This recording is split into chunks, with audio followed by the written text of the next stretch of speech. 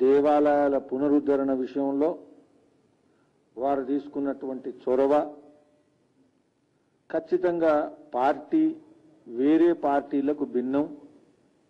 తెలంగాణలో సంస్కృతి పట్ల దేవాలయాల పట్ల ప్రభుత్వ నిర్లక్ష్యం ఏదైతుందో అది భారతీయ జనతా పార్టీ నాయకత్వంలో జరగదు.